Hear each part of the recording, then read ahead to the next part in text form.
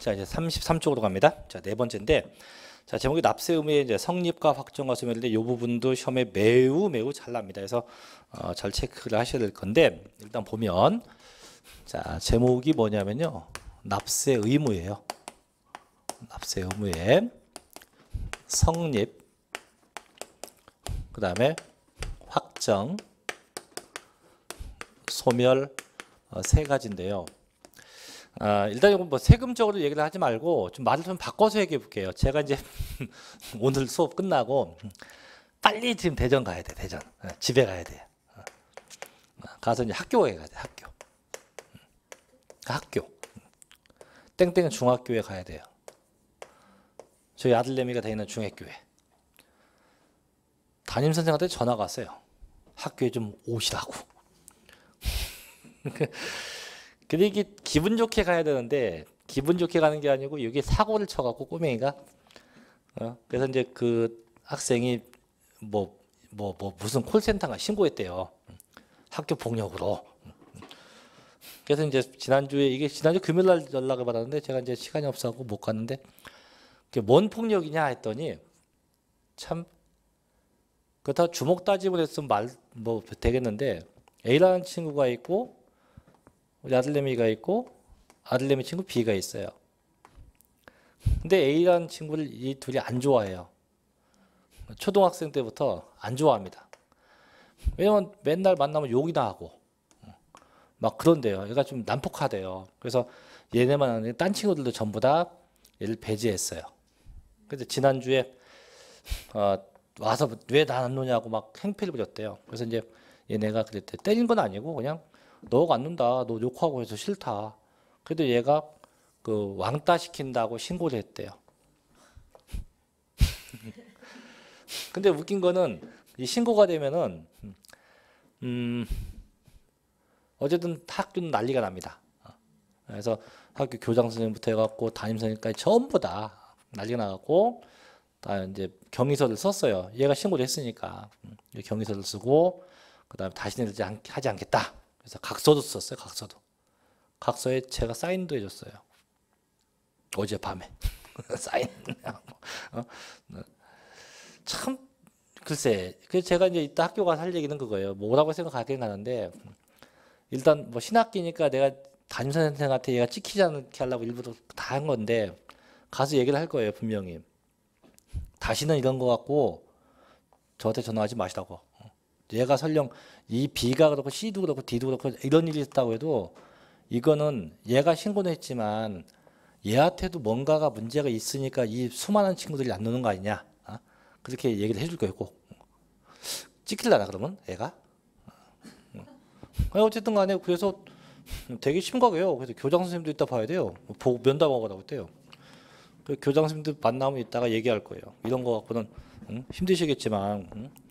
어, 누구 잘 잘못을 떠나서 이거 잘못된 건 이거는 고쳐되지 않냐. 그래서 이제 더 성질 나게 하면 저도 맞고소 하려고. 어, 맞고소. 그왜 얘기를 하냐면요. 납세의 성립 확정 소멸하고 똑같아요. 저희가 이제 뭔 사건이 있어야만 뭐 사건이 발생을 해야만 그 사건이 일단 성립을 하죠, 그죠? 이게 아, 발생이 돼야 되죠, 발생. 발생이 되고 나면 네, 그 성, 사건이 발생하면 이제 어떻게 이게 이제 잘잘못이 가져지겠죠? 너 이렇다, 이렇다. 그 정해지는 게 그게 바로 뭡니까? 이게 확정이라고 해요. 음, 확정이고 자 이제 발생된 게 다 됐었는데 나중에 이제 이게 어떻게 끝내 없어지려면 뭐 무사히 합의를 하든가 아니면은 속된 말로 음, 학교에선 음, 뭐 태학은 그렇고 어, 정학을 당한다든가 이렇게 이제 소멸될 수 있겠죠. 그래서 세금도 마찬가지해서 세금도 납세 의무라는 건 이제 세금 낼 의무인데 의무가 성립한다. 이 성립한다는 것은 뭐냐면 이 세금이 세금이 발생하는 시점이에요. 발생하는 시점에서 세금이 언제 발생하느냐 이 얘기예요. 근데 발생은 되지만 그 세금이 얼마라는지 몰라요. 그래서 이게 아, 저희가 이제 보통 추상적이다 이렇게 얘기해요. 그래서 세금만 발생될 뿐이지 금액이 얼마인지 정확하게 알 수가 없다는 거죠. 자, 확정이에요. 확정은 뭐냐? 이 발생된 이 세금이 세금이 이게 구체화되는 겁니다. 이 세금이 구체화되는 게 이게 확정이에요. 그래서 그럼 내가 낼 세금이 얼마면 얼마며 어떤 방법을 갖고 내야 할 건지 이게 정해지는 게 확정. 그럼 아까 자, 세금 계산 방법 배웠어요. 항상 뭐 곱하기 뭡니까? 과세 표준 곱하기 세율로 하죠. 자, 계산 누가 합니까? 내가 할 수도 있고 정부가 할 수도 있죠. 그러면 내가 하면 무슨 납부가 돼요? 신고 납부가 되고 정부가 뭐예요? 고지서를 보내는 방법 이런 방법들이 있겠죠. 자, 이렇게 해서 이제 그 세금이 없어진대요. 소멸은 없어지는 거예요. 소멸은 그 세금이 구체화된 게 없어진다야. 없어진다는데 그럼 어떻게 하면 없어지냐? 내문 끝나요. 납부하면 그 세금은 없어지게 된다는 겁니다. 그래서 이렇게 크게 세 단계에서 성립이 되고 확정되고 소멸인데 뭐 시험에 날 수 있는 거예요. 성립하고 어, 소멸 이 두 개가 날 수 있고 확정은 이거는 날 수도 있지만 요건 아까 그 저희가 신고 납부 배우고 뭐 보통 징수 배웠잖아요. 그거하고 내용이 똑같아요. 그래서 이건 좀 이따 얘기할 거고 자, 성립부터 가볼게요. 자 갑니다. 33쪽에 1번 납세 의무의 성립이에요. 그래서 밑에 괄호 1번 국세의 납세 의무의 성립식입니다. 7번 자 소득세하고 법인세가 보이는데 여기서 그 법인세는 무시하고 그냥 지우지, 아, 지우지 마세요. 그냥 무시하면 되고 소득세에다가 앞에 하나 더 적을게요. 소득세 앞에다가 양도 소득세라고 하나 더 적으세요. 그래서 이게 일반적인 소득세가 됐건 양도 소득세가 됐건 똑같은데 자 그럼 소득세는 언제 발생하냐 볼게요. 소득세는 발생하는 시점이요. 그 써있죠. 언제 발생한대요. 땡땡 과세 기간이 끝나는 때예요. 그럼 소득세상 과세 기간이 언제부터 언제냐? 매년 1월 1일부터 매년 12월 31일까지고요. 요 1년이 요게 과세 기간이에요. 요 1년을 보고 제가 과세 기간이라고 하고 즉 과세 기간이 뭐냐? 소득이 발생하는 기간이에요. 그 기간이 뭐한 날? 끝나는 날. 이때가 돼야 이때가 돼야 소득세가 발생하는 겁니다.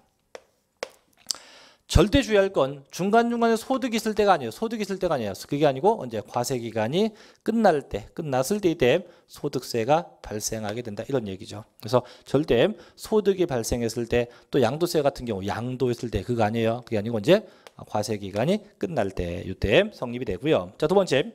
부가가치세입니다. 땡땡. 얘도 언제예요? 과세 기간이 끝나는 때라고 자, 표현 방법은 이렇게 되어 있는데 어, 내용은 똑같지 않아요. 그래서 부가가치세를 보면 부가가치세 보면 얘도 과세 기간이 끝나는 때인데 부가가치세는 과세 기간이 연간 두 번이에요. 그래서 한 번은 매년 1월 1일부터 6월 30일 이렇게 한 번이 있고 한 번은 7월 1일부터 12월 30일 이렇게 또 한 번이 있어요. 두 번. 그래서 한 번은 요때 성립이 되고 한 번은 이때 성립이 되서 이렇게 두 번에 걸쳐서 어, 성립하게 된다는 겁니다. 자, 세 번째가 상속세인데 언제예요? 상속세는 상속이 개시됐다. 즉 사망했을 때 성립이 돼요. 상속이 개시될 때 성립하게 됩니다. 자, 네 번째. 자, 증여승들은 언제? 증여에 의해서 재산 취득했다. 쉽게 증여 받았을 때입니다. 증여 받았을 때 성립하게 되고. 자, 5번. 자, 종합부동산세인데 또 나왔네요. 이 종합부동산세는요. 저희가 배우는 거죠. 그래서 일명 종부세인데 얘는 부동산 보유세예요. 보유세이기 때문에 특정 시점에 보유가 돼야 돼요. 언제 매년 6월 1일 시점에 부동산을 보유했을 때 돼요. 그래서 이때를 뭐라 합니까? 과세 기준 1이라고 이때가 되면 종합부동산세가 발생하게 된다는 거죠. 자, 6번 인지세입니다. 이는 언제 작성한대요? 문서 작성할 때 성립이 되고 자, 7번인데 조심해야 돼요.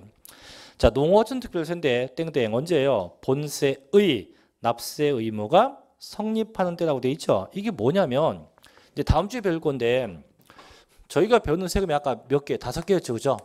취득세, 또 뭔세? 등록, 면허세, 또 무슨 세? 재산세, 또 음, 종합부동산세,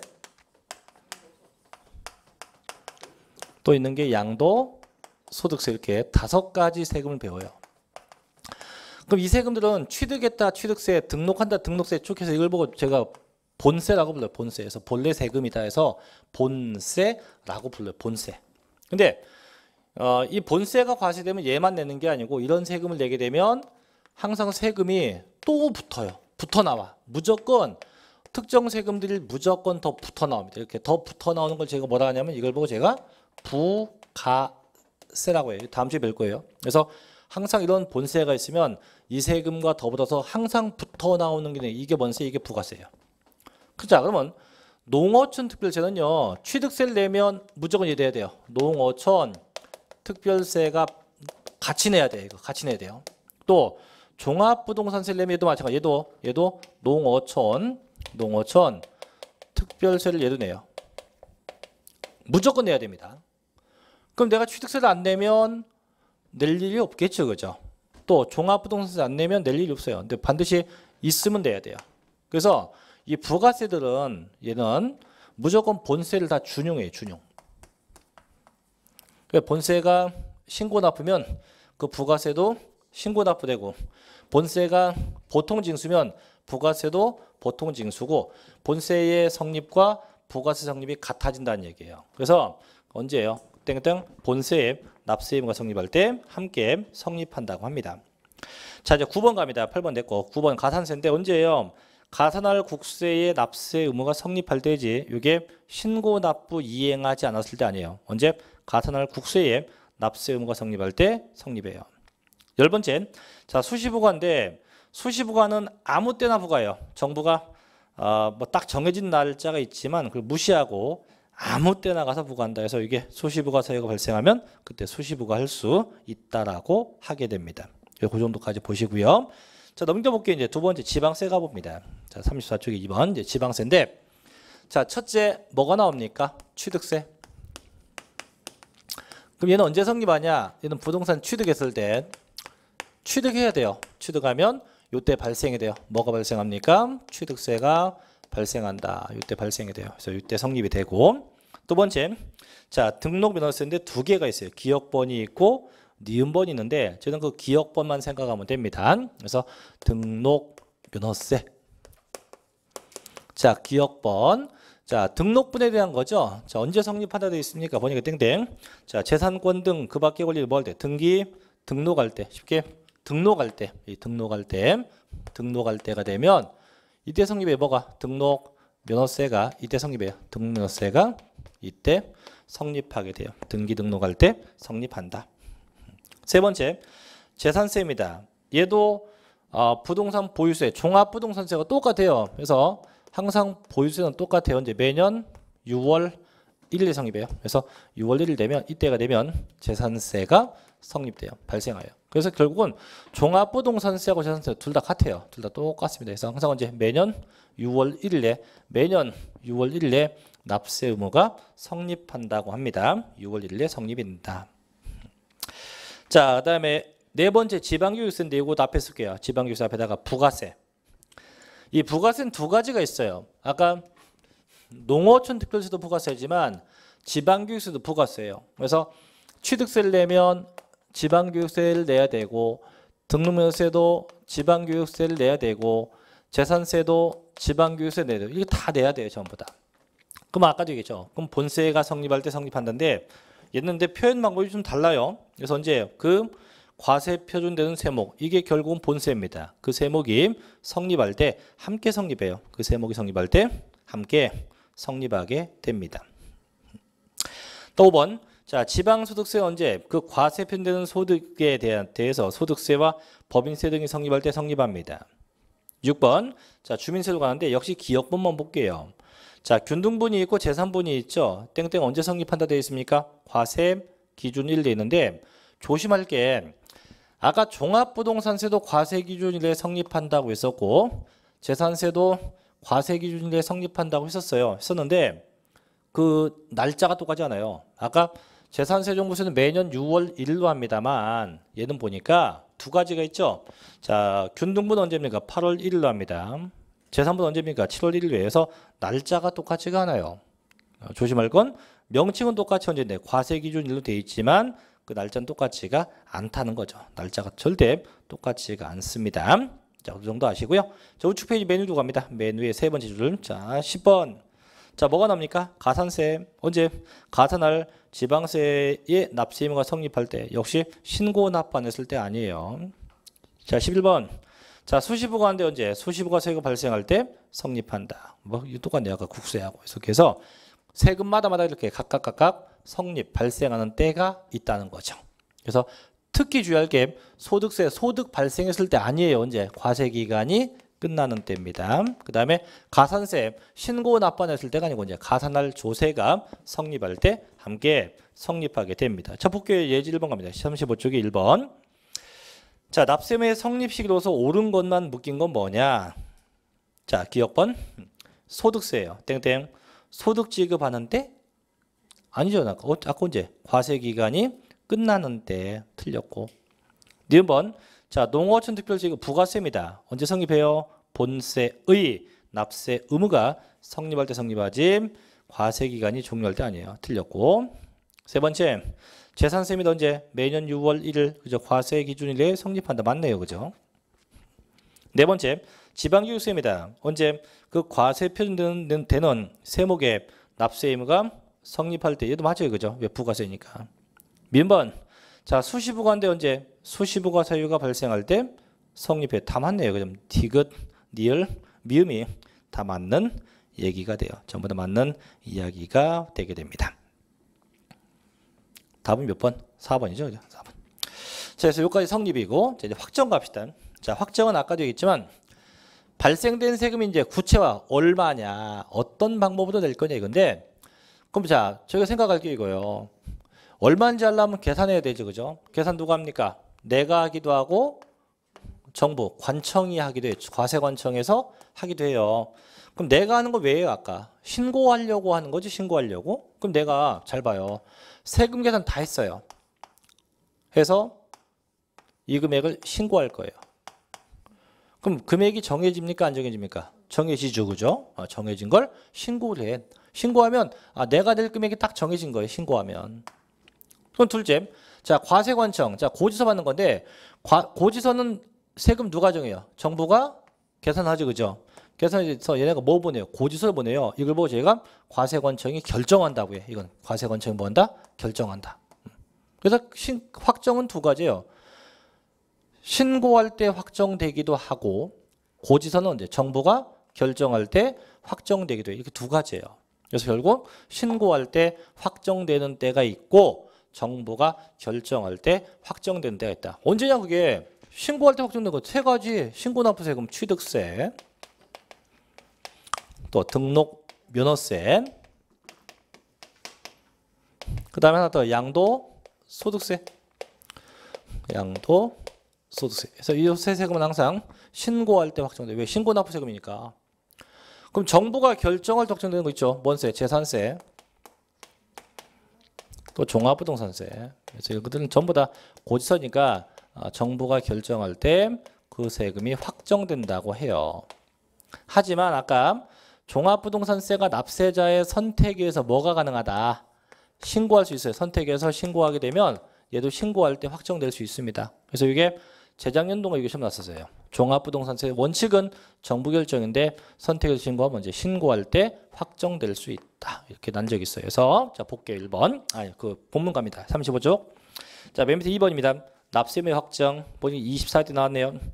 납세의 확정을 한 추상적으로 성립한 납세 의무를 조세 납부나 징수를 위해서 세법이 정하는 바에 의해서 납부할 세액을 납세무자 혹은 과세관청에 일정한 행위나 절차를 거쳐서 구체적으로 확정되는 것을 의미합니다. 그래서 1번 자 무슨 주의예요? 신고주의입니다. 자 신고주의는 결국 신고납부 세금인데 자 언제 신고할 때 확정된대요. 언제 확정돼요? 신고할 때 확정돼요. 그래서 땡땡 봅니다. 35쪽 맨 밑에요. 납세무의 성립 후 납세무자가 과세 표준과 세액을 정부에 모을 때 신고할 때 동그라미 쳐요. 신고할 때 확정됩니다. 그래서 넘겨보면 이제 나오죠 세목이 취득세, 뭐 등록면허세, 그다음에 쭉 보니까 뭐 소득세, 법인세, 뭐 부가세 전부 다 신고 납부 세금이에요. 다 언제 신고할 때 확정됩니다. 자, 두 번째. 그럼 부가주의 볼게요. 부가주의는 고지서입니다. 언제 확정돼요? 과세관청이 뭐 할 때? 결정할 때 확정돼요. 언제 관청이 결정할 때 확정돼요. 땡땡. 언제 과세권자가 과세표준과 세액을 뭐 할 때 결정할 때 확정된다. 그래서 정부가 세액을 정했을 때 이때 확정되게 합니다. 그래서 보니까 재산세 또 특정 부동산에 대한 지역정설세, 뭐 종합 부동산세 등등 있는데 재산세하고 종합 부동산세 두 개만 생각하면 됩니다. 세 번째는 별거 없는데 자동 확정되는 것도 있어요. 이거는 언제 성립과 동시에 바로 확정되는 건데 밑에 예를 보니까 인지세가 있는데 뭐 큰 의미는 없어요. 그래서 전 두 가지 신고할 때 확정되는 것도 있고 언제 정부가 결정할 때 확정되는 것도 있다. 두 가지만 기억하면 됩니다. 자 그럼 밑에 예제 봅시다. 1번. 자 원칙적으로 과세관청의 결정에 의해서 납세 의무가 확정되는 지방세를 모두 골라봐라. 자 그럼 자 봐요. 아까 저희는 늘상 다섯 개니까 신고할 때 확정되는 건 뭔세? 취득세, 등면허세, 양도소득세 이 세 개는 언제 신고할 때 확정되는 거고 재산세하고 종합부동산세는 이제 정부가 결정할 때 확정이 돼요. 자, 그럼 때 그럼 결국 정부 결정 두 개인데 둘 중에서 뭘 찾으랍니까? 지방세. 정부가 결정되는 거 중에 지방세. 그럼 이 중에서 재산세는 뭐고? 지방세고 종합부동산세 뭐고? 국세고 이 차이예요. 국세 지방세 차이. 그래서 아, 국세 지방세니까 지방세니까 뭐 찾으면 돼요? 재산세만 골라내면 되죠. 뭐만? 재산세만 골라내면 됩니다. 그래서 정답은 재산세 하나죠 하나. 몇 번? 정답은 3번이에요. 근데 실제 이때 당시에 시험이 났을 때 어, 10명 중에 9명이 정답을 4번으로 했어요. 그럴 수밖에 없죠. 순간 놓치는 거니까. 그래서 이게 국세인지 지방세인지 분명하게 기억을 하고 계셔야 합니다. 자, 이제 37쪽으로 가죠. 네, 세 번째 네, 납세 의무 소멸로 갑니다. 소멸. 자, 소멸은 아까 뭐예요? 세금이 없어진다는데 자, 보죠. 자, 소멸 사유, 소멸 사유.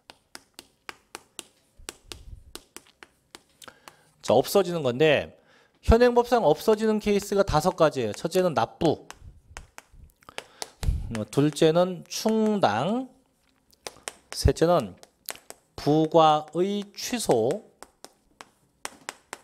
넷째는 생선 용어입니다. 제척 기간의 만료. 다섯 번째는요. 소멸. 어, 시효의 완성. 이렇게 다섯 가지예요. 납부, 충당, 부과의 취소, 제척기간 만료, 소멸 전성 다섯 개예요. 이 다섯 개가 다지. 근데 가끔 이런 게 나와요. 납세자의 사망.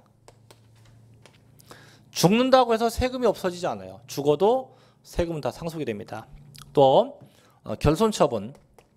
이 결손 처분은 뭐냐면 정부가 세금을 받지 못할 것 같으면 받는 걸 포기해요. 어. 그래서 이 두 개는 소멸사유 아니에요. 아니야. 아니야. 아닌 겁니다. 그래서 다섯 가지가 있는데 첫째, 그 납부가 뭐냐? 세금 내는 거지 그죠? 내면 끝나요. 세금 내면 더 이상 낼 것이 있다 없다? 낼 것이 없다. 납부. 자, 그럼 충당이 뭐 하는 겁니까? 충당은 이런 거예요. 충당은 내가 낼 금액, 그 납부세액이에요. 납부할 세금하고 어, 요번에 국가로부터 돌려받을 돈이 있어요. 그게 환급세액이에요. 그래서 내가 낼 금액하고 돌려받을 금액하고 두 개를 상계하는 겁니다. 이게 충당이에요. 그럼 낼 거 안 내도 되죠, 그죠? 어, 돌려받을 거 받을 거 없고. 세 번째, 부과의 취소예요. 부과 아까 배웠죠. 부과가 뭐였어요? 정부가 너 세금 내야 한다라고 통보하는 게 부과입니다. 자, 정부가 부과했어요. 너 세금 내야 돼. 부과했는데 그게 뭐예요? 정부가 취소해요. 미안해, 네가 아닌 게벼 내지 마. 아, 이거 이거. 요까지는 쉽죠. 자, 근데 문제는 요겁니다. 제척 기간에 만료하고 소멸시 완성 이 두 가지는. 그래서 시험 나면 무조건 얘가 납니다. 그래서 이제 제척 기간부터 한번 볼게요. 제척 기간이 뭔지 자 볼게요.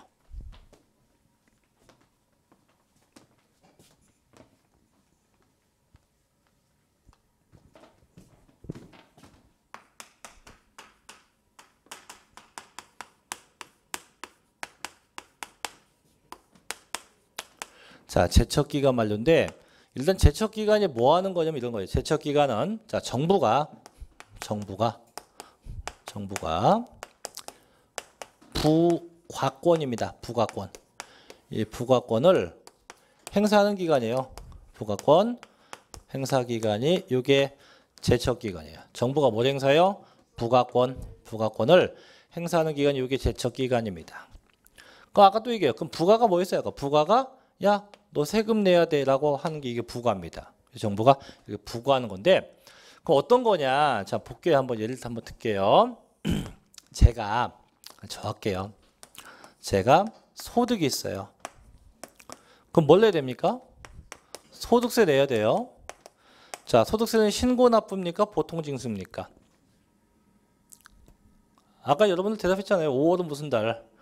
종합소득세 신고 납부의 달. 신고해야 돼요. 그래서 매년 5월 1일부터 5월 30일 이 기간 동안 내가 직접 뭐 해야 돼요? 신고도 하고 납부해야 돼요. 그 밑에 그 내가 내야 신고 납부할 금액이 천만 원이었어요. 근데 신고 납부를 안 했어요.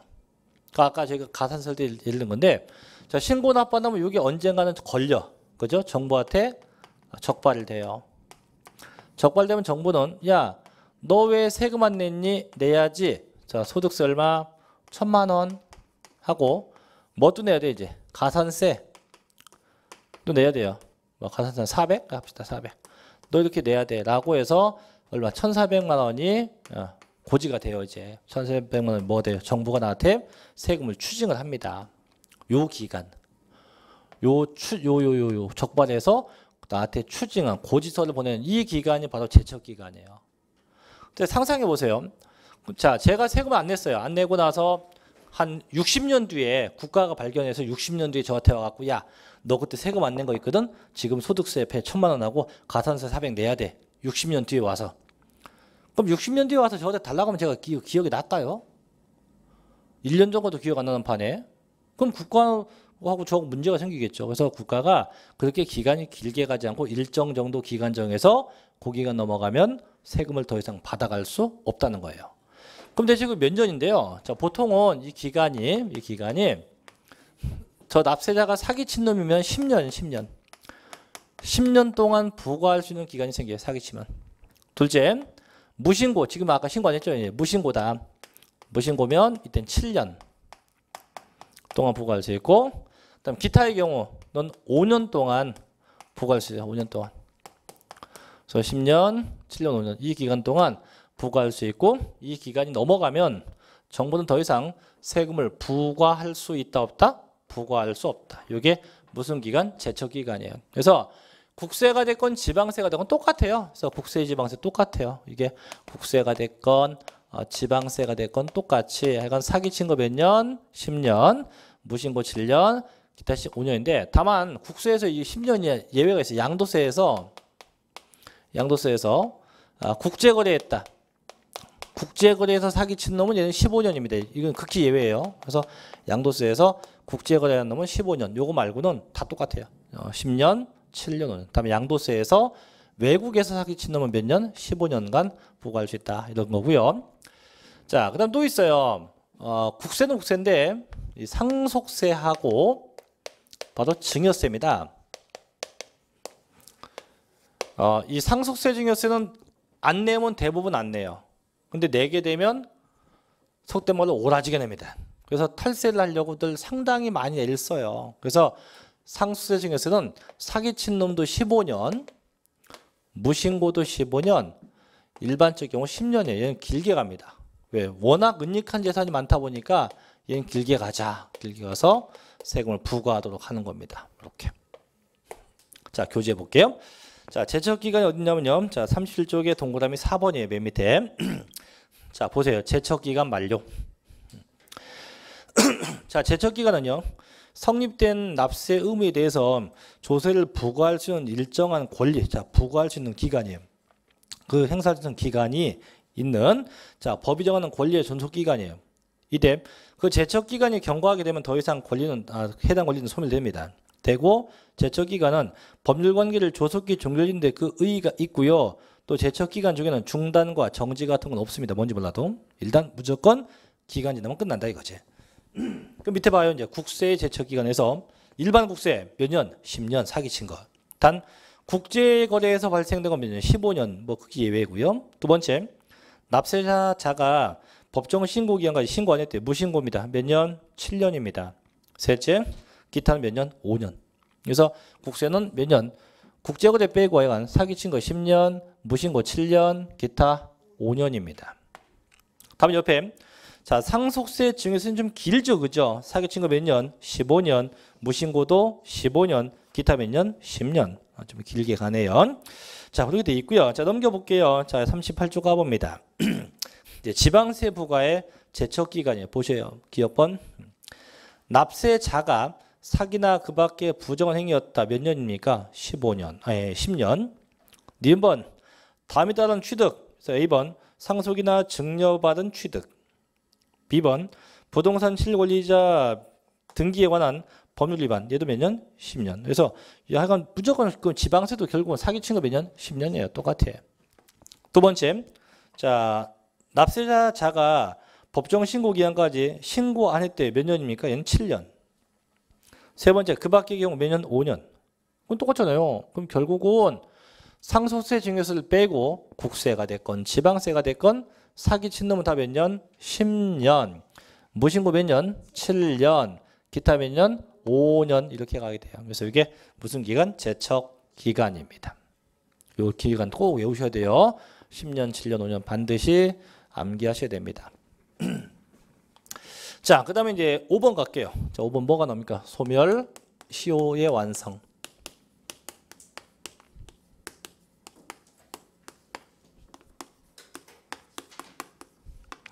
자, 이제 소멸 시효는 그 뭐냐? 얘는 이거예요. 얘는 정부가, 정부가 징수권을,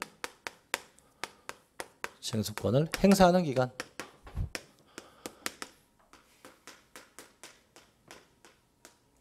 즉 정부가 자 징수가 뭐야? 아까 세금 걷어가는 겁니다. 요것도 일정 기간 안 걷으면 안 돼요.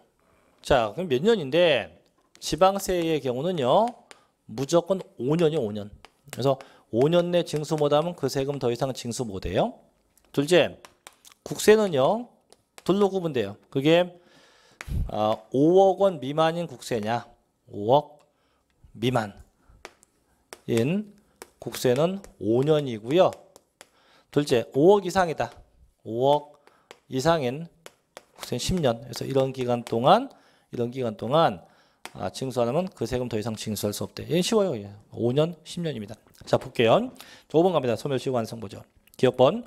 자, 소멸시는 과세권자가 조세 채권에 대해서 일정한 권리에 대해서 그 권리자가 해당 권리를 행사할 수 있음에도 불구하고 일정 기간 동안 행사하지 않으면 그 조세 채권 권리가 소멸됩니다. 즉 더 이상 징수할 수 없다는 거죠. 자, 니번 국세의 소멸시효 보죠. 밑에 있죠. 자, 국세의 징수를 목적으로 하는 국가의 권리를 행사할 때부터 A번 몇 년? 5억 이상은 10년. B번 5억 미만은 5년으로 한다. 그래서 이 기간 동안 행사하면 소멸시효가 완성됩니다. 우측에 디귿번 갑니다. 자, 지방세 소멸시효입니다. 보죠. 땡땡. 자, 지방세 단체의 징수금의 징수를 목적으로 하는 지방자치단체가 그에 관한 권리를 행사할 때부터 5년간 행사하면 어떻게 그 시효는 완성돼서 더 이상 세금을 걷어갈 수 있다 없다? 없다고 합니다. 그래서 지방세는 무조건 몇 년? 5년. 국세는 어떻게 해요? 5억 미만은 5년, 5억 이상은 10년으로 각각 구분되어 지게 된다는 겁니다. 자, 그 다음에 니을번인데 자, 시효의 중단과 정지라고 되어 있죠. 그죠? 이게, 이게 시효의 중단과 정지가 제척 기간이고 소멸시효예요. 이 시효의 중단과 정지인데 이게 뭐냐면 자 지방세 봐요. 자 세금이 이제 정부가 걷어 징수할 날부터 징수할 때부터 몇 년 지나면 5년 지나면 더 이상 세금을 징수할 수 없어요. 그럼 이때 하나, 둘, 셋, 넷, 다섯, 5년 갑시다. 자 정부가 징수할 수 있는 때부터 2년 정도 지났어요. 지났는데 뭔지 몰라도 이때 세법상 중단 사유가 걸렸어요. 중단 사유. 거기 써 있어요. 그 박스에 보면 시효의 중단에서 네 가지 점 있죠? 자, 그런 게 있었어. 그럼 중단 사유 걸렸어요. 걸려서 다시 시작을 해요. 그럼 중단 사유 걸리면 이미 2년 지난 건 다 없어지고 다시 처음부터 이때부터 다시 처음부터 5년이 가야 돼요. 이게 중단이고 그럼 정지는 뭡니까? 정지는 자 2년 지나왔어요. 근데 갑자기 밑에 보면 정지 사유 있는데 정지됐어 정지. 정지됐다가 다시 가면 그 지나온 기간 인정하고 나머지 3년만 더 가면 돼요 그냥. 이게 중단과 정지의 차이점이에요. 근데 이걸 다 외울 건 아니고 거기서 중단 그 네 가지 있죠. 납세 고지, 어, 독촉, 그다음에 교부 청구, 압류 요것만 좀 기억하면 돼요. 그래서 납세 고지, 자 동그라미 칠게요. 고, 고, 고. 그다음에 독촉의 촉, 촉. 촉 했어요? 그 다음에 교부 청구에 구, 구, 교부 청구의 구, 압류의 압. 그래서 어, 어떻게 되냐면 고압 촉구입니다. 고압 촉구. 그래서 중단하라고 어, 뭘 멈추라고 고압 쪽으로 뭔다 촉구한다. 그래서 이제 요것도 이제 잊어먹지 않는 방법 혼자 생각해 봤는데 요즘에 그 사극들 많이 하대요, 그죠? 가끔 사극에 보면 그 어, 사형수가 이제 가끔 등장을 하고 이제 칼 허영 칼 물렸고 푹 하면 좀 망나니가 망나니 맞나요, 그게? 예, 그 친구가 나오고 나서 목을 딱 칠라고 하면 갑자기 한쪽에서 누가 막 뛰어와요. 뛰어오면서 멈추시오 이러고 나와요. 누가 내시가. 어. 그 멈추다고 아주 고압 쪽으로 촉구를 하죠, 그죠? 어? 왜 죽으면 안 되니까. 그래서 고압 촉구입니다. 그래서 내시가 고압 쪽으로 뭐 하라고 멈추라고 중단하라고 촉구한다. 그래서 고압 촉구가 시효의 중단 사유가 됩니다. 자, 거기까지. 자, 넘겨서 예제 봅시다. 자, 뒤에 가면 예제 있을 거예요. 자, 1번 갑니다. 1번. 자, 40페이지인데 자, 국세기문법상 사기나 그 밖에 부정한 행위예요. 그래서 주택이 양도세를 포탈할 때 더 이상 볼 거 없어요. 왜? 사기친 양도세입니다. 사기친 양도세입니다. 몇 년? 10년. 그죠? 그래서 제척 기간은 10년으로 하시면 됩니다. 그죠? 자, 거기까지 하고 4번 우측에 4번 뭐 내비 두시고 읽어 보시면 되고요. 그래서 어, 쭉 넘어가세요. 이제 넘어가서 어, 교재 이제 44쪽에 5절 조세와 일반 채권과 관계인데 요거는 이제 시간상 으로 다음 주에 할게요. 요거까지 하면 시간이 부족할 거니까. 자, 그다음 유인물 다 받았죠? 자, 유인물이 오늘 배운 내용에 대한 건데 그 괄호 안에 보면 1번, 2번, 3번, 4번 번호가 매겨져 있을 거예요. 그게 뭐냐면 어, 15회 때부터 작년도까지 출제됐었던 문제 중에서 어, 중간중간 문장을 바꿔치기 한 거예요. 바꿔치기 한 거나 아니면 다 써 있는 문장을 넣어놓은 겁니다. 그 기출 문제를 제가 완전히 좀 변형시킨 건데 어, 그거 다 옳은 것만 찾는 거예요. 찾는 건데 어떤 거는 한개 맞는 게 있고 어떤 건 두 개 맞는 게 있고 어떤 건 다 맞는 게 있을 거예요. 그래서 그걸 지금부터 시간 한 2분 줄 테니까 옳은 것만 정답을 골라내 보십시오. 제가 같이 어, 문제를 정리해 주겠습니다. 자, 지금 시작해 보십시오. 자, 같이 볼게요. 자, 1번 갑니다. 1번은 뭐뭐뭐뭐예요. 1, 2, 3, 4지. 과세 대상, 납세 의무자, 과세 표준, 세율. 그 네 개가 다 맞는 겁니다. 그래서 1번은 1번, 2번, 3번, 4번. 자, 2번. 자, 2번은 조세는 금전납부 원칙에 나는 예외가 납세자가 물납할 수 있다 되는데, 그죠? 아까 물납하는 건 딱 하나밖에 없다 했습니다. 무슨 세? 재산세입니다. 그래서 정답은 3번 재산세만 되죠. 자, 3번 갑니다. 뭐란 앞에 신고 납부 앞에 앞에 거 1번이에요. 1번이고 자, 쭉 가면 자, 신고 납부 이행하 나면 뒤에 뭐가 붙어요? 가산 세가 붙겠죠. 그래서 3번은 둘 다 1번입니다. 1번. 4번 뭐란 가산세예요. 가산세에서 4번도 1번 가산세에서 아까 의무, 의무는 신고 납부니까 해서 신고 납부되면 가산세가 붙어요. 그래서 4번 정답 1번입니다. 1번이고 뒤에 거는 가산금을 포함하지 않죠. 그래서 뒤에 건 2번. 4번은 앞에 게 1번, 뒤에 게 2번입니다.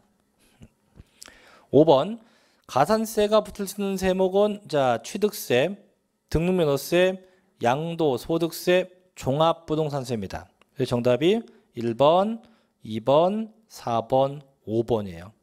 1번, 2번, 4번, 5번입니다. 6번 뭐는 보통 징수죠. 2번 이고 자 뒤에 뭘 부과한다? 가산금. 그래서 6번은 둘 다 정답 2번입니다. 둘다 정답 2번. 자, 그 다음에 7번 가, 아, 또 가산금 또 있네, 그 뒤에. 몇 프로? 어, 그 뒤에 또 있네요. 자, 7번 있네, 7번. 맨 7번. 자, 첫째, 조세를 납부 기간까지 만나봤다. 그럼 가산세 몇 프로?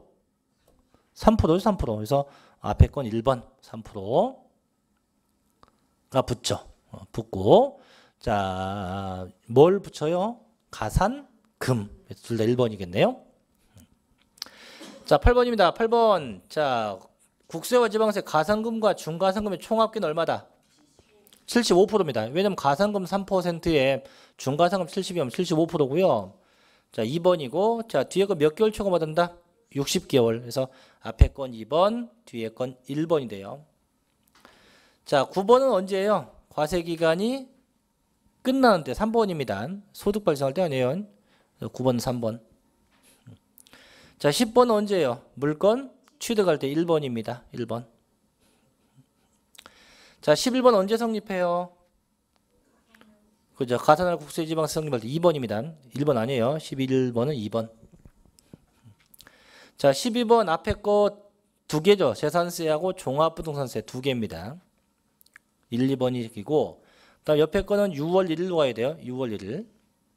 그다음 밑에 거는 정부가 결정 1번. 그래서 앞에 건 1번, 2번, 어, 뒤에 건 1번, 세 번째 것도 1번입니다.